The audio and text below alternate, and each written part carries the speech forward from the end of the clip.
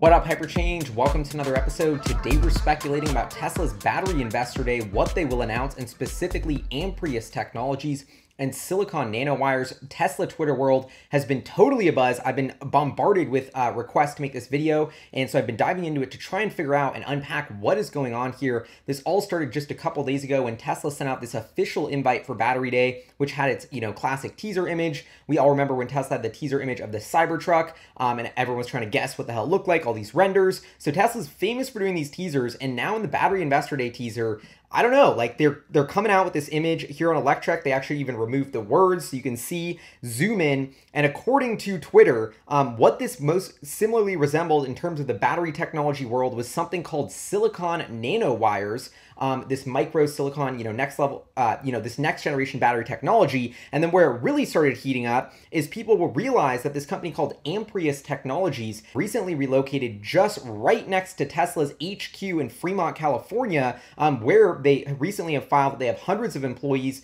um, ramping up this what's known as Roadrunner secret battery cell initiative. You know, I made a ton of videos talking about how Tesla's going to bring battery cell production in house. They're ramping it up like crazy at this facility. That's what they're going to show us at Battery Day. Well, right next to that facility that's ramping like crazy is this company called Amprius Technologies, which is a pioneer um, in this silicon nanowire technology, basically making silicon anodes for next generation batteries that have way higher energy density um, than anything on the market today. So now, you know, of course, Twitter's all, you know, doing all the speculation, like, is Tesla working with Amprius? Da, da, da, da. Sam Korus, friend of mine, he's actually been on the podcast, um, goes on this tweet thread about Elon Musk hinting at excitement for an electric jet, quoting Whole Mars, Omar's tweet about Amprius. So they're piggybacking on Amprius. And Sam Korus says this is a big deal because if this sort of technology starts to get commercialized, there's a chance that Elon Musk's uh, you know, energy density threshold of 400 watt hours per kilogram to make a vertical takeoff and landing jet would be surpassed. And that means, you know, this could actually be a viable thing. This crazy futuristic electric next generation airplane that Elon Musk has been scheming, but needs good batteries. And so to, to put the cherry on top of all of this speculation, Elon Musk replies to this speculative tweet thread saying 400 watt hours per kilogram with high cycle life produced in volume, not just a lab, is not far, probably three to four years. So this is a game changer. Elon Musk, we know from his Iron Man cameo, talks about his electric jet idea, but he ha- I've even done a whole podcast with Matt uh, Joyce, shout out to him, about what Tesla's electric jet would look like and how dis- much disruptive potential this has for the aviation industry.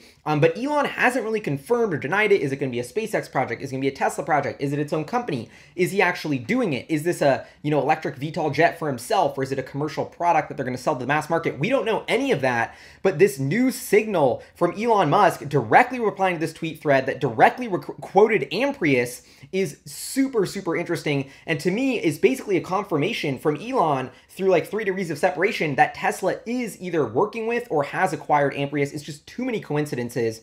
And the other crazy thing is that if you go to Amprius's website, um, this is a little bit different than a lot of battery technologies I've seen in that it's not really just a lab project. They are actually ramping with huge companies and partners, and it looks like commercializing this technology as well. So Amprius um, like I said, their big game changer is this 100% silicon nanowire battery technology, game-changing performance and energy density um, and cycle life uh, and cycle life. And so you can see here they have the, com- the comparison of silicon, um, which has actually been touted for a long time as a much better technology than what is being currently used in batteries. Um, and actually, in 2015, there was a really interesting article where they get some tidbits about Elon Musk that says we're shifting um, the upgraded pack with this new chemistry to more silicon in the anode this is just sort of a baby step in the direction of using silicon in the anode. We're still primarily using synthetic graphite, but over time, we'll be using increasing amounts of silicon in the anode.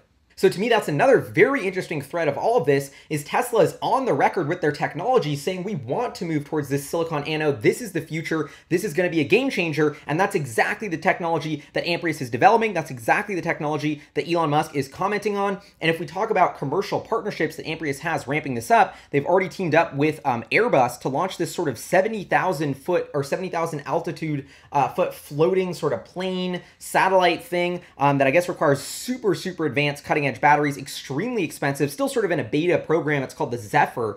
Um, this was announced in October 31st last year, but still, this is a huge deal with a huge company that's actually being assembled. Um, so this is all happening. They're really commercializing this.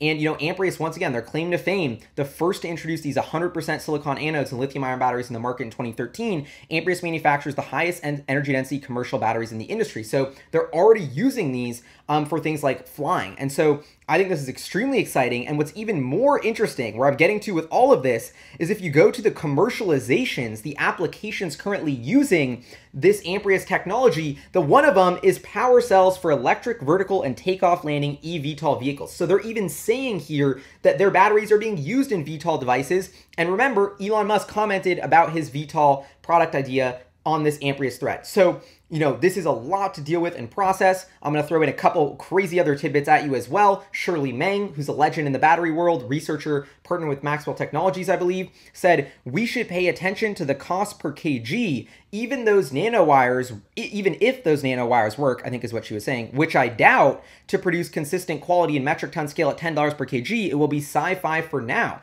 So now Shirley Meng some someone in academia who Tesla partners with is saying that this this nanowire technology is actually more hype um, and it's a little further down the road than we would think. A couple more clues to layer in here. Yi Lei Chao, a manager at Tesla from Los Altos, California, spent eight years and four months at Amprius before going to Tesla full time in August 2019. We also have another LinkedIn clue from uh, Mark Guzman, who is a cell engineer at Tesla right now. Before that, was working at Maxwell doing dry battery electrode technology for four years, and before that, working at Amprius in Sunnyvale. This is a lot of clues to, um, unpack. You know, if I had to make a guess about what's happening here, Tesla is indeed partnering with this Amprius technology to develop some sort of battery cell program. Now let's talk about, you know, how far along is this program? Because some of these claims that Amprius's technology makes about their watt hours per kilogram energy density seems way too good to be true. It just seems like it's not quite ready for commercialization. And I think, you know, I've probably been guilty of this as well. I think Tesla Twitter and the Tesla, you know, people following this, trying to guess what's happening in Battery Day, I think we get way too hyped up about, you know, at first it was Maxwell, then it was Silion, now it's Amprius. We're always getting a little bit too excited about these different puzzle pieces of the battery technology um, roadmap that Tesla's on, and it's really all of these coming together, converging at once at Tesla under one roof in one product, which is the secret sauce. And that's what I think is really going to get announced at Tesla's Battery Days. It's not one big innovation. It's not some aha, you know, silver bullet technology. That's the nanowire. That's the dry battery electrode. It's a combination of all of these breakthroughs put together in a new state-of-the-art manufacturing facility. Um, you know, combined with Tesla's decade plus of lithium-ion cell experience, and and and really commercializing all these fringe next-level technologies into a battery cell that's ready for prime time, that can be super long-lasting, super efficient, and built super duper cheaply. And so I don't know. My gut tells me that Amprius um, you know, like this this transition from the synthetic graphite anode over to silicon, you know, maybe this is like a sliding scale and we're going to move slowly towards more and more of a silicon anode incorporating this Amprius technology and that and it's not like we're going full silicon anode right at battery day, but we're going to make a lot of progress there and that's going to increase incrementally the energy density and Tesla's already rolling that out. Is Tesla going to roll out a full silicon anode at battery investor day? Is that ready for prime time today?